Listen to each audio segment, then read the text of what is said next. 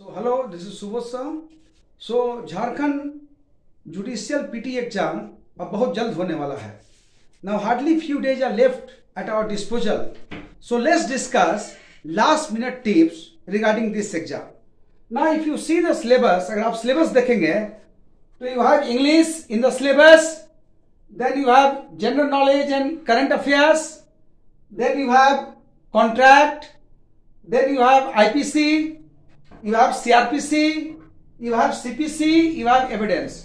अगर सिलेबस देखा जाए तो और स्टेट के पीटी एग्ज़ाम से ये सिलेबस बहुत कम है बहुत भास्ट नहीं है तो अगर रणनीति बनाकर स्ट्रैटेजी बनाकर इस एग्ज़ाम में अपियर किया जाए तो सफलता निश्चित रूप से हाथ लगेगी नाउ लास्ट मोमेंट में चूँकि कुछ ही दिन बचे हैं तो लास्ट मोमेंट में हम क्या करें कि हमें सफलता प्राप्त हो सके?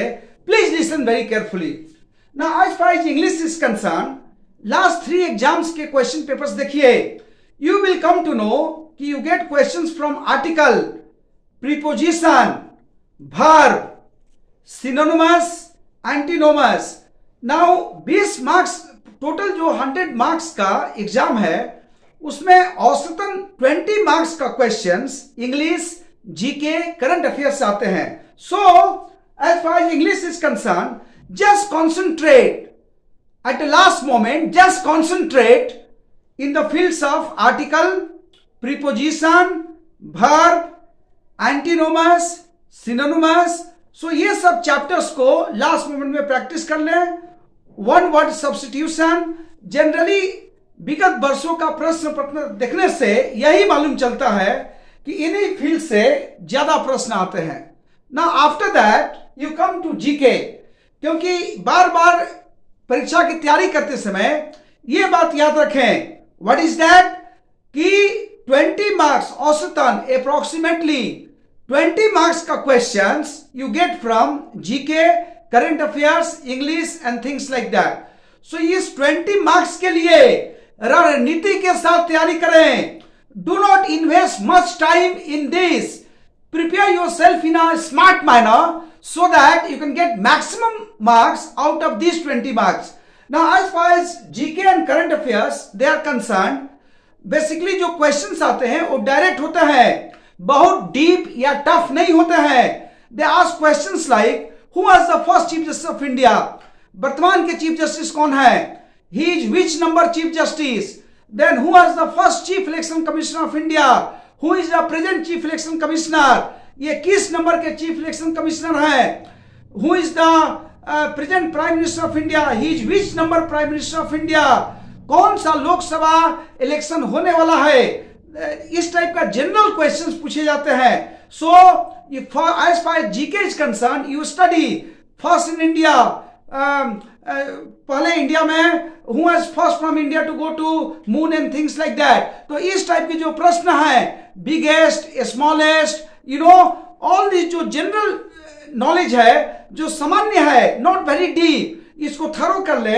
And as far as current affairs is concern you study current affairs of last one year and give little a little concentration with regards to current affairs of Jharkhand also. Of course, as far as current affairs are concerned, you did not go very deep into that. Even a simple preparation will do. So, for these 20 marks, GK, English और current affairs पर सामान्य ढंग से तैयारी करें इसमें समय invest करें लेकिन बहुत ज़्यादा समय ना दें एज फार एज पाँच लॉज की जहाँ तक बात है contract IPC CrPC and evidence जहाँ तक ये पाँच कानून की बात है तो ये पाँच कानून में बस दो रणनीति अपनाए।